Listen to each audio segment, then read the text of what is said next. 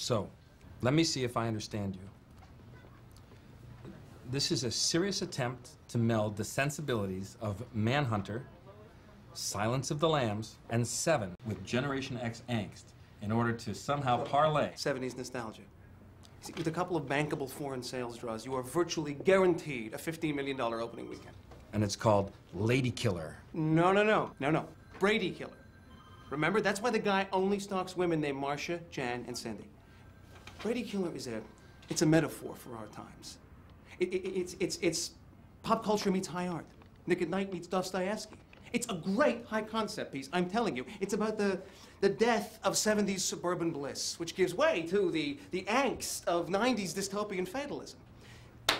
Stay with me. Opening shot. A long steady cam shot. Touch of Evil, The Player, Goodfellas. You know, the, we're coming into a house, yes? It's from a backyard into a house. It's a family room. Screen door's open. Why is it open?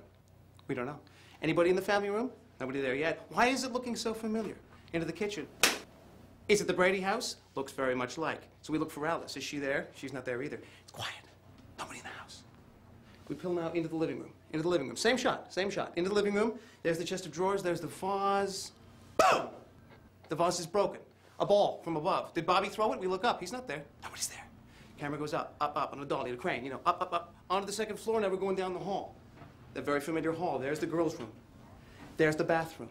There's the boys' room. Nobody in any room. The bunks are empty. Why? Where are they? One door open. It's the attic. Down to the attic. Same shot, same shot, no coverage.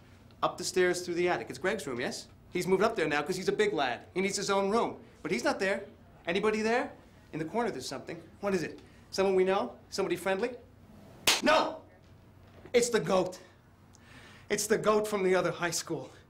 It's a dead mascot hanging there, blood dripping like a butcher's shop. Boom!